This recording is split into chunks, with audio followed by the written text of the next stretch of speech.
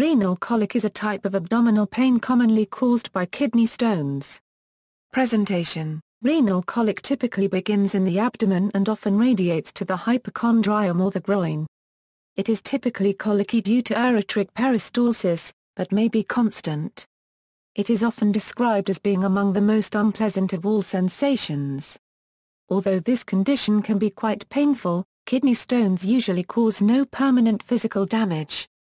The experience is said to be traumatizing due to pain, and the experience of passing blood, blood clots, and pieces of the stone.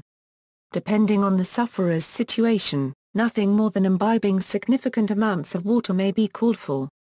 In other instances, surgery may be needed. Preventive treatment can be instituted to minimize the likelihood of recurrence. Prognosis in treatment most small stones are passed spontaneously and only pain management is required. Non-steroidal anti-inflammatory drugs such as diclofenac and antispasmodics like butylscopolamine can be used. Although morphine may be administered to assist with pain management, it is often not recommended as morphine raises arterial pressure, worsening the condition. There is typically no antalgic position for the patient. If the pain is not too intense, a more speedy release of the stones may be achieved by walking. Larger stones may require surgical intervention for their removal, such as percutaneous nephrolithotomy. References